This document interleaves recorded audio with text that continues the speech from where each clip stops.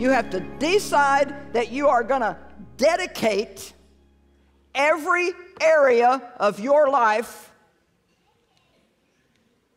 to God.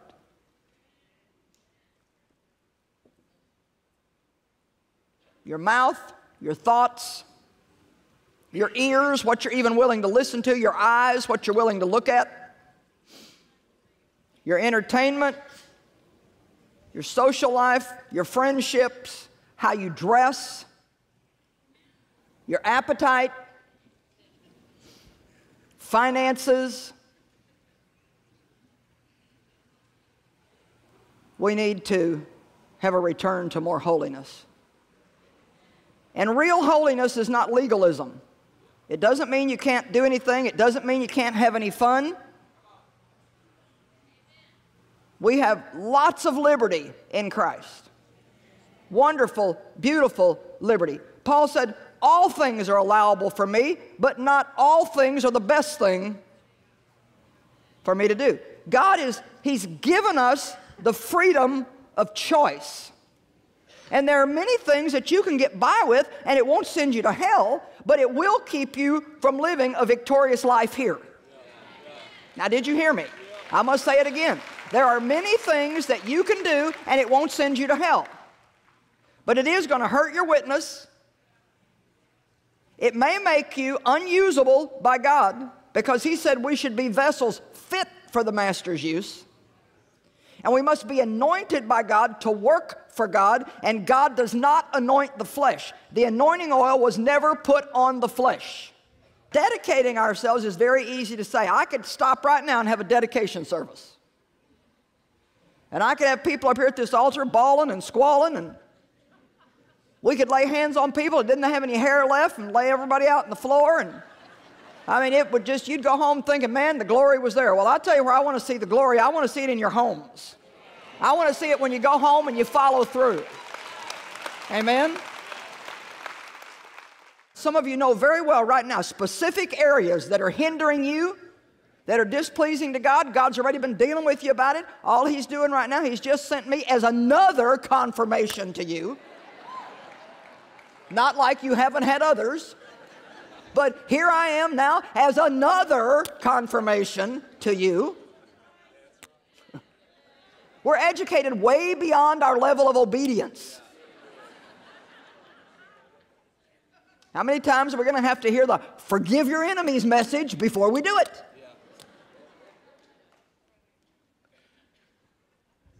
Much easier to say amen in here than it will be to go home and pull it off. But I believe that you're going to get the message tonight and you're going to learn how to finish what you start.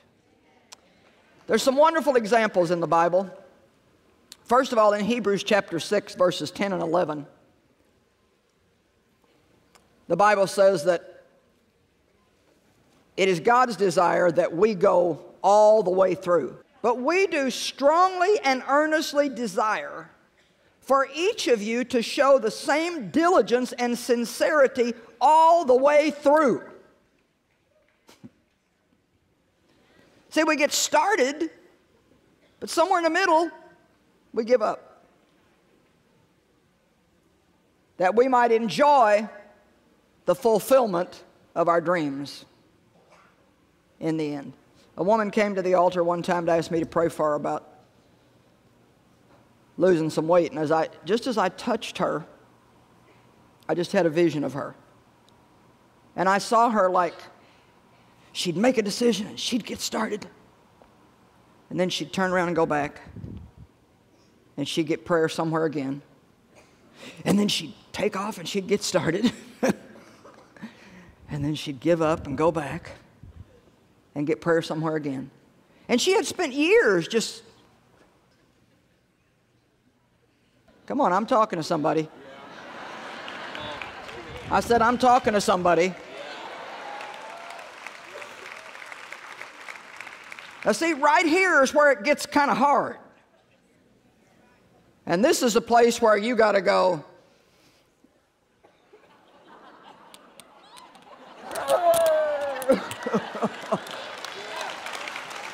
You can come out with some victory somewhere on the other end. And please remember, you never have to do this by yourself. Any person who will say to God, I am going to go all the way through with you, let me tell you, I mean, he gets all over it. You know when I sense God's anointing on me to do what I'm doing? When I step out here. I don't feel it before that.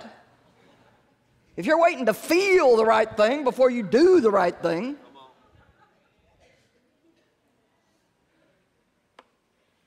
it just doesn't work that way. You know, the Bible's full of people who went all the way through with God. There are a few that you read a little bit about and then something happens and they just kind of fizzle out and you never hear from them again. But Hannah, for example, was a woman who was unable to bear children and she prayed and prayed and prayed that God would give her a child. And she said to God, if you'll bless me and let me have a child, I'll give him back to you, and I promise that he'll serve you all the days of his life. Now, when she gave her child back to God, it wasn't like us doing a baby dedication and giving our children to God and then taking them home and still doing what we want to with them. I mean, when she decided to give her child to God, that meant when she weaned that child, she had to go take him to the temple, and that's where he would live for the rest of his life in priestly service. And it's beautiful if you read it how she waited until she weaned him. And then on the day when she was supposed to take him, she went and she spoke to the prophet and she said, I'm the woman who stood by this altar and prayed that God would give me this child. And as I promised you, I have now come to give him back to you. If people would just keep their promises, if they would just keep their word, we need integrity in our world today. We need people who will say what they're going to do and do what they said. And there's such a lacking of that in our society today. And let me tell you something, church. The sinners aren't going to change. If anybody's going to spark up the world, it's going to have to be us. We've got to get out there and be bright lights, stars, and beacons shining out in a dark world. We have to press in, and every individual person who calls themselves a Christian must begin to live that life out in society where it makes a difference. People don't pay all that much attention to what we say but they do pay attention to what we do. Let's look at Acts chapter 5.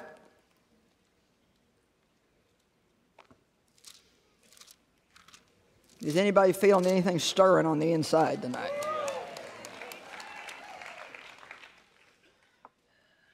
Actually, I'm going to back up into Acts chapter 4, the last two verses. It says, Now Joseph, a Levite and a native of Cyprus, which, interestingly enough, we have an office in Cyprus now. well, actually, we broadcast to the Middle East out of that area.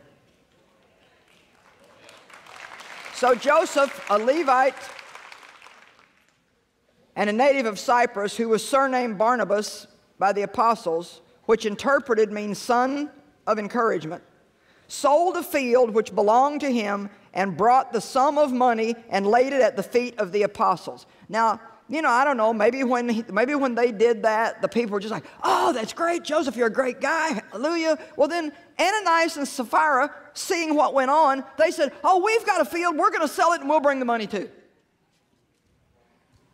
You know, sometimes we make commitments in the flesh, and it's not even something that God's put on our heart. And but you know what? I believe that even if we make a commitment, when we should have just kept our mouth shut, God expects us to keep our word.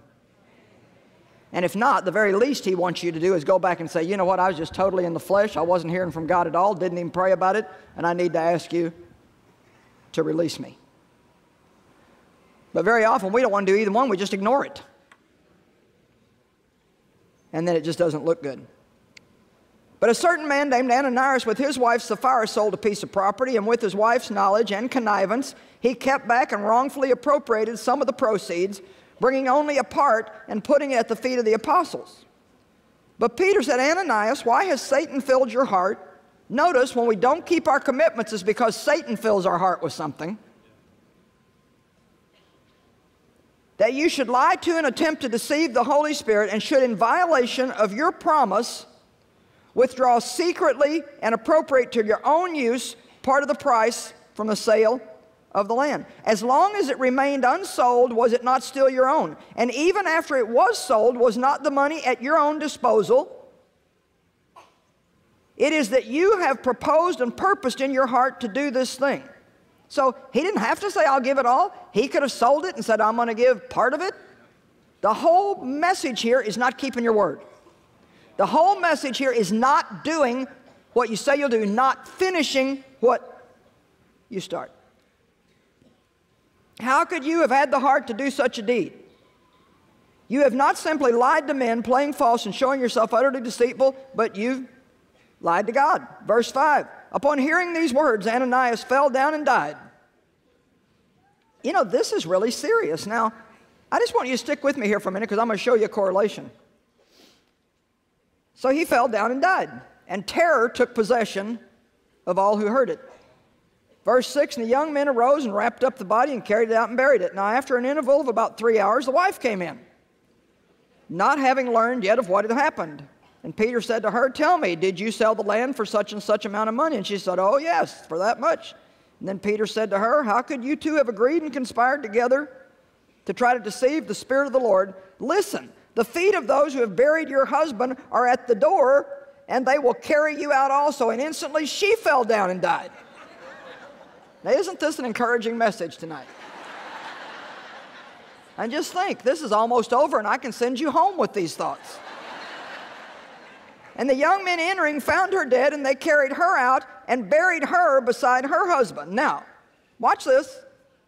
And the whole church and all the others who heard of these things were appalled, and great awe and strange terror and dread seized them. Now, by the hands of the apostles, the special messengers, numerous and startling signs and wonders were being performed among the people, and by common consent, they all met together in the temple. Now, you notice that Ananias and Sapphira fell down dead from lying, but you also notice that great signs and wonders and tremendous miracles were happening in the church, and people were being added to the church daily by the thousands. Now, if we wonder where the miracles have gone,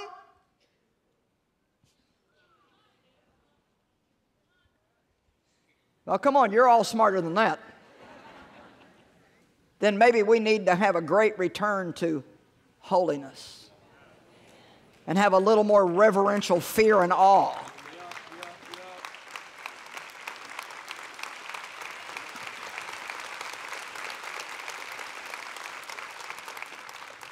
Dave and I were just talking about this last week, this very thing. And we both feel very much that there's just a little too much looseness in the church. God's our buddy and He's our friend, but He's also God Almighty. A holy God, a righteous God, a God of justice. And we should never have a wrong fear of God, but we should know that God means what He says. And it's not wrong to have a, a righteous, reverential fear and awe of God. And when we do, things will change. Even just some of the rude behaviors that we have. And I, you know, this is not about trying to hurt somebody's feelings or, or embarrass anybody, but I mean, even just like at the end of a service, when the pastor is trying to have an altar call to have people give their life to the Lord, and the only thing that 20% of the people are concerned about is trying to get out of the building so they can get their car out of the parking lot, so they can get their hamburger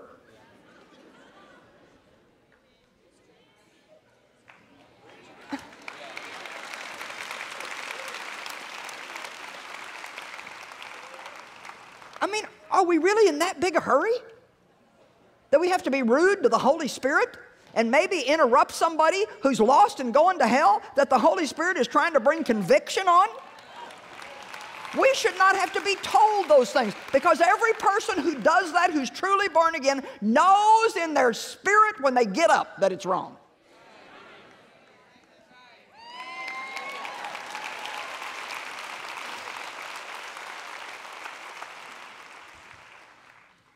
You know, Joseph was a consecrated man, and he didn't lose his dedication and consecration through all kinds of trials and tribulations.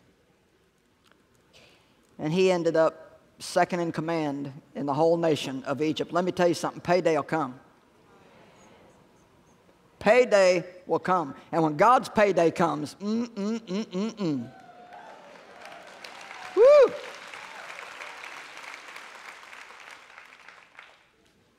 Esther had her own plan. She was a young maiden, and I don't know what Esther had planned, but it sure wasn't to go be part of a harem in the king's palace. She was asked to put her life on the line, but because she dedicated herself, she saved a whole nation. You have no idea what God could do with you. Now, in this last little bit of time that I have left, I want to talk to you about an area of dedication that I think is important for all of us, and it's dedicating your reputation to God. You know, our reputation is what people think of us, it's their opinion. And we're way too concerned about what people think. It's just like, it's almost like a disease in our society. And everybody wants people to like them, there's no doubt about that. But I can tell you right now, everybody's not going to like you. I don't care what you do. Not everybody's going to like your new haircut. Not everybody's going to like your new clothes. Not everybody's going to like the car you picked. Not everybody's going to like your personality. I mean, not everybody's going to like you. Thank God a lot of people will, but not everybody will. And you will have to learn how to experience some rejection in your life and yet shake that off and go on with God. I'm reading a book right now by A.W. Tozer. And of course, he wrote this book a fair number of years ago, so they had the same problem in the church then. And he said, What we have in the church now is deadly respectability. And yet, in the midst of it, Christians are not, by and large, respected by the world. And we should be. Even if they don't like us or want to be like us, they should respect us. And the only way they will is if we live the life that we say we believe in.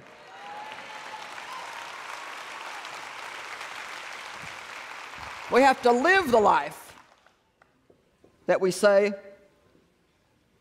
that we believe. You know, the apostle Paul said in Galatians 1:10, if I were trying to be popular with people, I would not right now be an apostle of the Lord Jesus Christ. Do you know that trying to be popular with people, trying to maintain your relationship can steal the plan of God for your life? Do you know that? I'm quite sure that Noah had to lose his reputation to build the ark. What do you think? I bet Abraham didn't have a very good reputation when he walked off from his whole family and everything that he knew and left and said, God's calling me. Well, where are you going, Abraham? I don't know. God just said, Go and I'll show you. Why, you nutcase. Come on. Jesus didn't have a good reputation, but the Bible says in Philippians 2 7 that he made himself of no reputation. He just went ahead and got it all over with to start with. His brothers thought he was crazy. People thought he was a madman. But he just stayed focused and kept doing. I don't even know how to explain to you what all I went through when God first called me to do this. Over 35 years ago. I mean, it was a very hard, lonely time for me. And I said to Dave about two weeks ago, I said, you know what? I just, I have no idea how I got from where I was to where I am. I do not know how I managed to get through all of the stuff that came against me except that one day at a time I took it with God. And I, one of the things I had, and let me finish, one of the things that I had, I mean, I had this I am not going to give up. I mean, it's just like quitting is just like something I can't even get into my brain. I am not going to quit and give up. And I know that God gave me a lot of grace. Certainly, I wouldn't be if it wasn't for that. But I'm just going to tell you that anybody can quit. That doesn't take any talent at all or any help from God. Anybody can quit. So the next time you say, Well, I'm just going to give up, you just ought to turn around and kick your own self in the rump.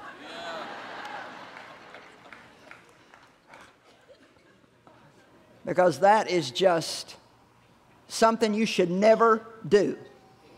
If you can't have any other testimony, at least have this one I'm still here.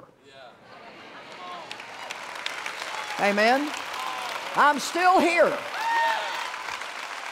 No matter what the devil threw against me, I'm still here. And I'll tell you what, I'd rather have God as my friend than to have 1,000 half baked, phony, hypocritical pretenders who the only way they're going to be my friend is if they can control me and manipulate me, and I'll do everything they want me to do. Either love me for who I am or just don't bother loving me at all. Amen? I believe when I was studying today that God showed me that this is one of the main things He's wanting to get at tonight. Some of you are never going to finish what God wants you to finish in life if you don't lay this reputation on the altar. Now, I can tell you right now that it's going to be very easy for you to agree with me here. But you're going to get tested. Everything worth anything has to pass the test. And let me tell you something God tests and tries us that we might come out like pure gold. Now, listen to me, you won't finish what God's got for you to do if you care too much what people think. You're always going to be changing your decisions to make them happy, lest they think that you're wrong or crazy or weird or, you know. How many of you agree that it's a real problem that we're that concerned about what other people think? And I mean, it, it is a massive, massive problem. And I can actually look back at my history in ministry and I can see now that each time God was trying to do something major in my life, like when He was calling me into ministry, you wouldn't believe the flack I got just for trying to teach a Bible study in my home. I mean, it was unbelievable. It was like all the devils in hell came out. and you know, the enemy works through people. And sometimes, godly people, or at least they're supposed to be. But hey, before we point the finger at too many other people, let's remember that sometimes we let Him work through us too. Amen? And that rejection was so painful to me. So painful. And I remember one day when I was still like in my early 30s and God had filled me with the Spirit and called me to preach.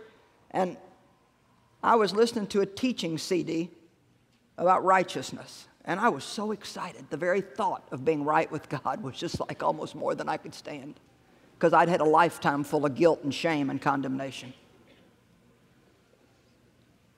And all these people were coming against us, and our friends were rejecting us and laughing at me and telling me I was crazy. And who do you think you are? And all these things. And I'm trying to hold on to this little dream and vision. Didn't know anything about dreams and visions to start with. Probably thought I was crazy myself. Was hoping I wasn't.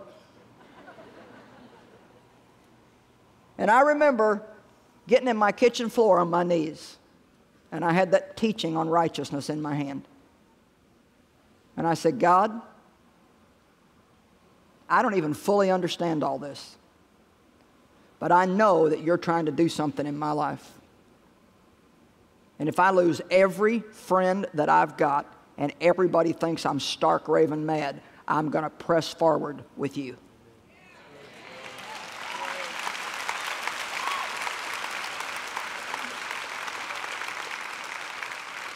And I've had to do that a number of times in my life, probably about four times that were really, really, really, really major for me, where I've had major hits of rejection from people that I really thought were my friends.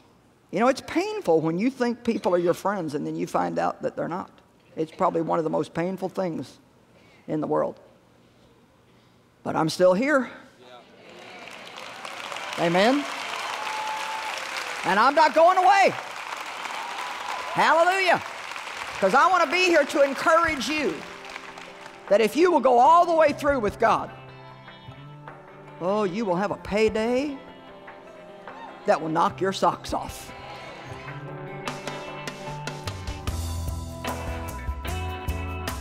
Well, I pray that today's message has motivated you to follow through on what you start. You know, it's very easy to begin something, but it does take great courage to finish it.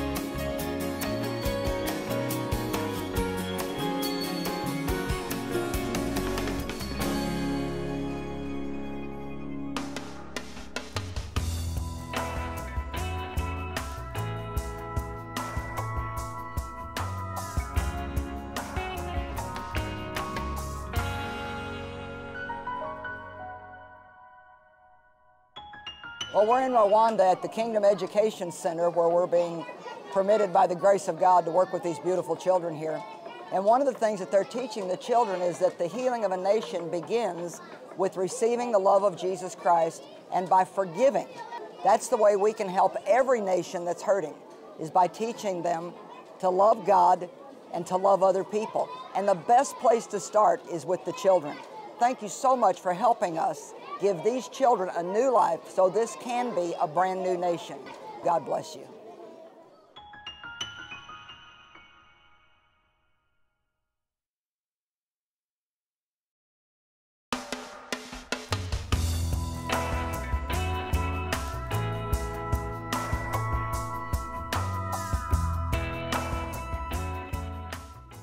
Rimpelvrij door de nacht. Eet je slank. Zo kun jij ook jouw droomfiguur krijgen. Geen zin meer in deze loze belofte?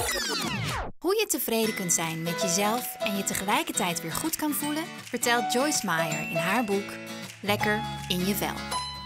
Bestel het boek Lekker in je vel nu via onze website joyce-meyer.nl of telefonisch 026 20 22 100. Het computerteam van Joyce Meyer Ministries werkt met man en macht aan onze Nederlandse website. They're faster speed and they're going to have a much better web-based experience.